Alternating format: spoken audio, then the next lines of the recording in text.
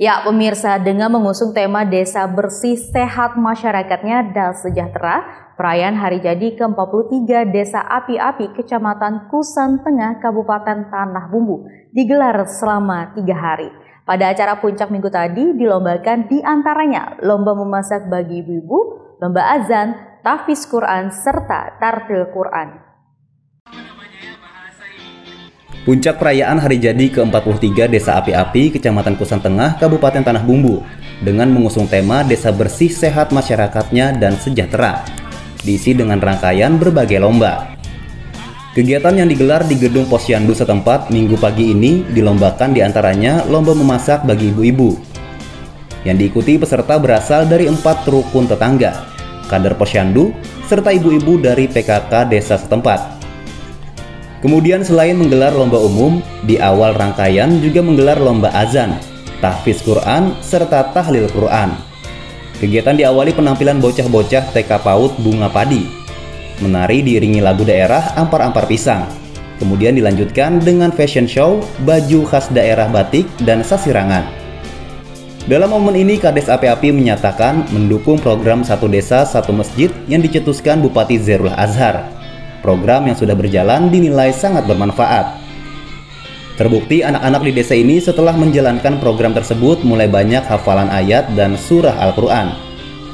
Kemudian ia berharap berbagai kekurangan yang masih dimiliki desa api-api dapat terwujud.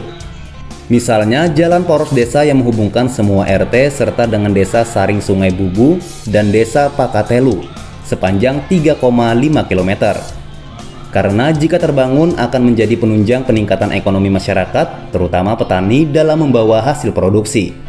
Sudah sampaikan tadi bagaimana caranya untuk memajukan desa, salah satunya adalah dukungan, dukungan daripada uh, masyarakat semua. Kemudian salah satu yang menjadi kekurangan kita adalah jalan poros desa itu yang belum ada. Ya, jalan poros ini tujuannya adalah bagaimana caranya memajukan uh, daerah pertanian ini yang ada kurang lebih 1.500 hektar dengan adanya jalan poros ini yang bisa membuka akses ke tiga desa, desa Pekatelu, kemudian desa Saring Bubu. Ketika ini terbangun, maka perekonomian, saya yakin perekonomian warga saya itu akan uh, lebih maju dan akan membawa masyarakat saya sejahtera. Ini saya lihat uh, yang sangat menarik uh, kebersamaan warga masyarakat bahu membahu. Nah, kita saksikan tadi kan ada beberapa kegiatan, terutamanya kegiatan lomba, yang mana kegiatan lomba tersebut hampir seluruh warga masyarakat tidak mengenal anak-anak, orang tua, eh, bapak-bapak, ibu-ibu membaur jadi satu mengikuti berbagai macam event atau lomba yang dilaksanakan oleh desa. Nah, mudah-mudahan ini saya pikir menjadi semangat untuk uh, menjaga uh, kekompakan dan kebersamaan warga kita khususnya di desa api-api ini supaya uh, desanya lebih bisa maju di masa-masa yang akan datang.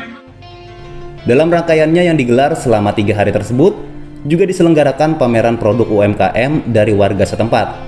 Sekitar 14 produk UMKM berupa kue kering hingga abon yang dikemas dalam kemasan plastik ditampilkan.